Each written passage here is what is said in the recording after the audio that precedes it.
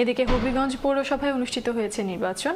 রোববার অনুষ্ঠিত ওই নির্বাচনে মেয়র পদে ছয় প্রার্থীর মাঝে জয়লাভ করেন আওয়ামী লীগ মনোনীত নৌকা প্রতীকের প্রার্থী। হবিগঞ্জ পৌরসভা নির্বাচনের খবর জানাচ্ছেন হবিগঞ্জ প্রতিনিধি সৈয়দ মুফাজ্জেল সাদাত মুক্তা। হবিগঞ্জ পৌরসভার নতুন মেয়র হচ্ছেন জেলা যুবলীগের সভাপতি আতাউর রহমান সেলিম। রবিবারের পৌর নির্বাচনে তিনি দুই হাজার ছয়শো তেপ্পান্ন ভোটের ব্যবধানে হারান তারই দলের বিদ্রোহী প্রার্থী বর্তমান মেয়র মোহাম্মদ মিজানুর রহমানকে।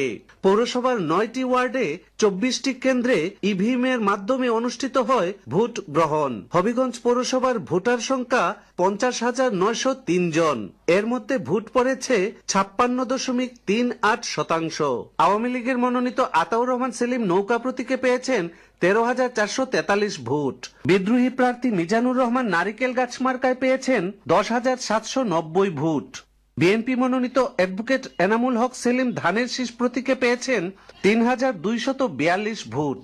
ইসলামী আন্দোলন বাংলাদেশের প্রার্থী মোহাম্মদ শামসুল হুদা হাতপাকা মার্কায় পেয়েছেন পাঁচশো উনআশি ভোট। স্বতন্ত্র প্রার্থী বশিরুল আলম কাউসার মোবাইল ফোন মার্কায় পেয়েছেন একশো একাশি ভোট।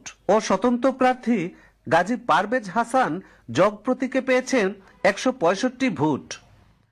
বর্তমান পরিষদের কাউন্সিলর বারো জনের মধ্যে পাঁচজন পুনরায় নির্বাচিত হয়েছেন এবং সাতজন নির্বাচিত হয়েছেন নতুনভাবে।